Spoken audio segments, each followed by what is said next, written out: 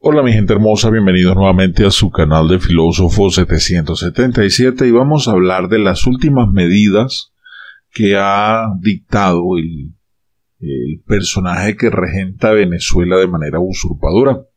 Me refiero a Nicolás Maduro, quien ha tomado decisiones que a mi parecer considero decisiones extremas, eh, tanto para Caracas como para el resto del país, dada la situación del Vichy y la información que se tiene supuestamente de la llegada de una nueva versión brasilera del mismo Vichy a Venezuela.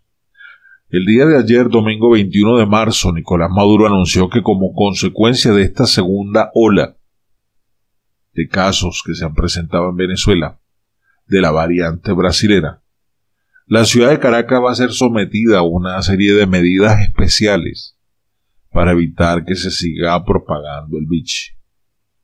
Dijo lo siguiente, hay que tomar medidas especiales en Caracas y cuento con el apoyo de los caraqueños y todos los que viven en Caracas. Se tomarán medidas especiales para cortar cadenas de transmisión. Fueron sus palabras durante la transmisión del balance de casos activos a nivel nacional. Del mismo modo detalló que de hecho en la capital venezolana es donde más se agrupa el mayor número de casos activos, donde se habla de 2.662. Vale recordar que Nicolás Maduro habría afirmado que a la fecha se registraban 27 casos positivos por cada 100.000 habitantes. A su juicio, esto se debe a la variante supuestamente P1 y P2 en Venezuela, y dice estamos subiendo de 21 a 27 casos por cada 100.000 habitantes. Ahora, no solamente las restricciones para Caracas, sino también dijo lo siguiente, que las próximas dos semanas van a ser de los 40 radicales. Sí, señoras y señores, dos semanas radicales, incluyendo lo correspondiente a Semana Santa. Esta semana es de radical, y luego viene la Semana Santa, que nuevamente será radical. Lo hacemos por la salud de la familia. Serán 14 días. Lo hemos venido coordinando con la Iglesia Católica. La Semana Santa será radical. 14 días de radical ratificó, repitió el bobo de Cúcuta. Maduro alertó este domingo 21 de marzo que la nueva variante de Brasil se está propagando rápidamente en Venezuela. Para eso, obviamente, como le digo, acaba de, de anunciar una radicalización de 14 días. Solamente se podrá salir para lo estrictamente necesario como la alimentación, salud y telecomunicaciones y seguridad, obviamente. Ahora, la pregunta será que esta nueva variante tiene que ver con el caso del coqui, porque el Coqui hace dos días amenazó al Bobo y dijo que estaba dispuesto a que si esta situación seguía así, le iban a caer en Miraflores, que ya él tenía todo listo. ¿Será que esa es la, el nuevo bichi que llegó a Venezuela, el Coqui? Ojo, claro, yo menciono esto, pero pillo es pillo.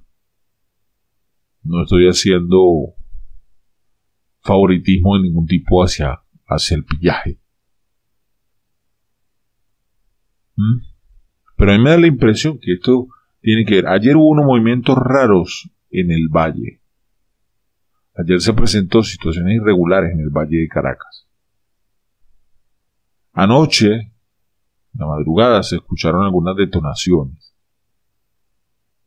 Se habla de que fue fuerte Tiuna en la madrugada. Estamos investigando. Vamos a investigar. Porque eso no se puede esconder. Lo que sí sabemos es que hubo movimientos. Y han habido movimientos. Y yo creo que eso es lo que preocupa a Maduro. Ahora, no hay que descartar que este mitómano, que es mentiroso por excelencia, también pudiera estar diciendo la verdad. ¿Por qué? Porque yo sigo viendo gente en las calles como si nada, aglomeradas en venta de comida rápida, montado uno sobre otro para pedir una hamburguesa, un perro caliente, una pizza, qué sé yo, sin tapabocas, montados unos sobre otros literalmente. Podemos ver gente en sitios turísticos. Ayer me percaté de eso, ayer salí a dar una vueltica por ahí con la familia y nos dimos cuenta de que muchas personas estaban en sitios aglomerados. Nosotros respetamos la distancia, nosotros usamos el tapaboca, utilizamos todo lo que es la, la bioseguridad. Sin embargo, ayer apreciábamos muchas personas en sitios pegados prácticamente, aglomerados, y sitios inclusive donde había reuniones entre personajes chavistas. Pasamos por las casas del partido y observamos unas reuniones que habían y estaban todos agrupados allí. Ajá. Entonces, decimos, ¿y cuál es, cuál es la bioseguridad? ¿Cuál es el, la idea de asegurar la, la salud de la gente? Bueno. Yo no sé, pero esto es, para mí me, a mí me suena excusa. Yo le, yo le he dicho a varias personas esto de que van a, que la nueva cepa, ¿qué tal? La nueva cepa como que se llama el coque. O le dicen coque. Bueno. Frase del día para ti. Un emprendedor suele morder más de lo que puede masticar, con la esperanza de pronto aprender cómo masticarlo. Te lo repito, un emprendedor suele morder más de lo que puede masticar, con la esperanza de pronto aprender cómo masticarlo. ¿Qué quiere decir? Que nos preparamos, que tenemos una visión más amplia de lo que podemos consumir, que podemos tener una precisión y una claridad de lo que queremos alcanzar y por eso nos arriesgamos a tratar de abarcar un poquito más de lo que literalmente se espera.